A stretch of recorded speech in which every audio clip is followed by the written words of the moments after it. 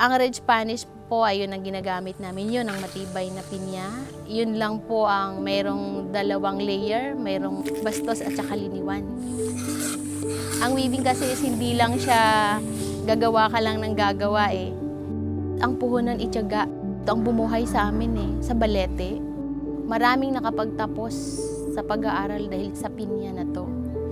Ang nasa dugo ng balete noon ang pinya weaving nagkapaltos-paltos yung kamay ko, yung siko ko ay nagkanda. Sugat-sugat din ako.